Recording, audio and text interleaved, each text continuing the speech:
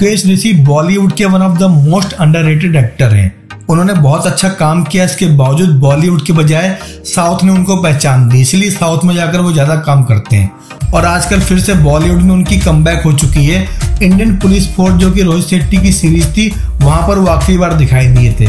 और आजकल इंटरव्यू में सनी देओल के बारे में खुलकर बहुत सारे एनेक्डोट ज़ाहिर कर रहे हैं। मुकेश ऋषि ने सनी देओल के साथ काफ़ी फ़िल्मों में काम किया है। जैसे घातक हो गई इंडियन हो गई, लेकिन घातक का नाम स्पेशली याद रहता है उनको। बिकॉज़ उन्नीस सौ छियानबे में आई मूवी घातक में एक हादसा हो गया था। मुकेश ऋषि जो कि चीना का रोल कर रहे थे, बहुत ही तगड़ा विलन था, कातिया का भाई बना हुआ था, उनका सनी से एक फाइट सीक्वेंस होने वाला था। क्योंकि मूवी के एक्शन डायरेक्टर थे टीनू वर्मा, जो कि बहुत ही रफ डायरेक्टर माने जाते हैं। फ़िल्मों के सेट पर हमेशा अपनी गुंडे दिखाते हैं, और जब भी किसी एक्टर से रिहर्सल करते हैं, उनको बहुत ही झकझोर देते हैं। तो टीनू वर्मा घातक में सनी देओल के खिलाफ मुकेश ऋषि को तलवार वाली सीन को समझा रहे थे और तलवार को बहुत ही रफ तरीके से हिला रहे थे।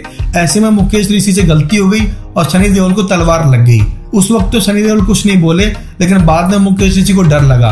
उनको लगा इतना बड़ा एक्टर उनकी वजह से चोटिल हो गया है, कहीं ऐसा ना उनका कैरियर खराब हो जाए, ये मूवी से बाहर निकाल दिया जाए। लेकिन हुआ बिल्कुल उल्टा। दो दिन बाद उनकी टीम का कोई मेंबर आया उसने मुकेश ऋषि को बोला कि आप घबराइए मत, सनी देओल ने स्पेशली आपके पास मुझे भेजा है और कहा है कि बिल्कुल ठीक है। इस तरह से सनी देओल को वो एडमायर करते थे।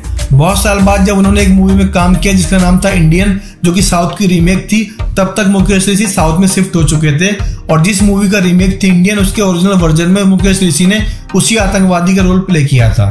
तो जब इंडियन की शूटिंग हो रही थी, तब वहाँ पर डिम्बल कपाड़िया की छोटी बहन सिंबल कपाड़िया के हाथ में गैजेट था। जो कि आपके स्टेप्स को मूवमेंट को ट्रैक करता है।